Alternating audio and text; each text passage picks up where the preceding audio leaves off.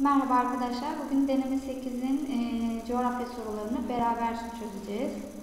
6. soruyla başlayalım. Buna göre aşağıdakilerden hangisinde insanın doğaya olan müdahalesinin farklı olduğu söylenebilir demiş. İnsanın doğa üzerindeki etkisinin iki boyutu vardır. Birincisi doğal kaynakların aşırı ve bilinçsiz kullanılmasıyla doğaya zarar vermek. Diğeri ise doğal kaynakları planlı bir kullanım yolunu tercih ederek doğaya zarar vermeden doğadan yararlanmaktır demiş. Şimdi şıklara baktığımızda arkadaşlar A şıkkında kıyının sığ olduğu alanların doldurularak kıyı ekosistemini değiştirmesi demiş. Buraya baktığımızda doğal, doğal kaynakların aşırı ve bilinçsiz kullanılmasına örnek olduğunu görüyoruz. B'de fosil yakıtların kullanılmasıyla hava kirliliğinin ortaya çıkması yine bilinçsiz kullanım ya da zararlı zarar vermek olduğunu görüyoruz. C'de endemik bitki türleri ve nadir görülen yer şekillerin olduğu bölgelerin koruma altına alınması. Burada A ve B'ye göre e, koruma altına alınması olduğu için olumlu bir e, durum olduğunu gözlüyoruz. D'ye baktığımızda verimli tarım topraklarında kimyasal gübrelerin kullanılmasıyla yeraltı sularının kirlenmesi, yine doğal kaynakların aşırı ve bilinçsiz kullanılmasına örnektir.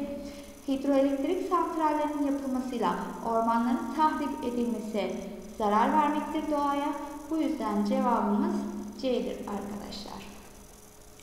Yedinci soruya baktığımızda Türkiye'nin ölçekleri farklı iki fiziki haritasında aşağıdakilerden hangisi kesinlikle ortaktır dediğimizde e, Marmara Denizi'nin harita alanı, haritaların kağıt üzerinde kapladığı alanlar, haritalardaki bozulma oranı, İstanbul ile Ankara arasındaki harita uzunluğu.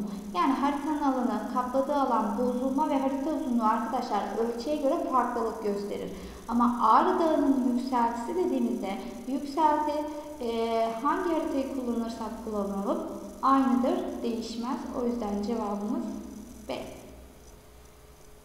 Sekizinci soruya geldiğimizde buna göre demiş yer şekillerinden hangileri karşıtaki şekiller arasında yer alır? Kalker, jips, kaya tuzu ve dolomit gibi kayaçların yaygın olduğu bölgelerde iklim koşullarının da uygun olması durumunda karstik şekiller oluşur. Peri bacaları arkadaşlar hem akarsu hem rüzgar aşındırması sonucu oluşmuş yer şekilleridir. Hörgüç kaya buzul aşındırması sonucu oluşmuş yer şekillerimizdir. Lapya karstik aşındırma, traverten ise karstik biriktirme şekilleri olduğu için cevabımız Edirne.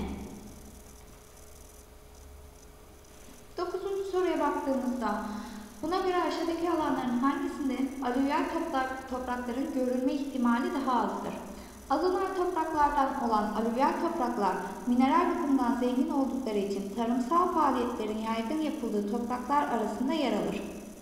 Baktığımızda alüvyal topraklar arkadaşlar akarsuyun aşındırmış olduğu malzemeyi biriktirmesi sonucu oluşan topraklardır. Bu yüzden vadi tabanlarında, delta ovalarında, akarsu kenarlarında ve kanyon vadileri e, pardon akarsuyun azaldığı dağ eteklerinde görülür ama kanyon vadilerinin yamaçlarında görülmez. Çünkü kanyon vadilerinin yamaçlarında e, kırmızı renkli terrosu toprakları dediğimiz Akdeniz toprakları görülür. Bu yüzden cevabımız Edirne. 10. soruya baktığımızda buna göre belli özelliklere göre oluşturulan aşağıdaki bölgelerden hangisinin sınırlarında zamanla değişmenin olması daha kolaydır?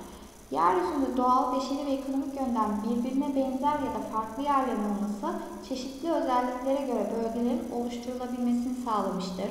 Bu özelliklere göre oluşturulan bölgenin sınırları zamanla değişebilir.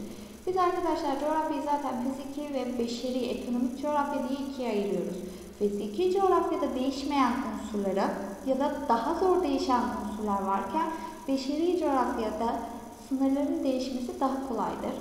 Bu yüzden deprem bölgeleri, iklim bölgeleri, ovalık bölgeler ve kıyı bölgelerinin değişmesi daha zor iken turizm bölgelerinin değişmesi daha kolaydır beşeri coğrafya içerisinde yer aldığı için. Bu yüzden cevabımız denizde arkadaşlar. Teşekkür ediyorum. İyi çalışmalar diliyorum.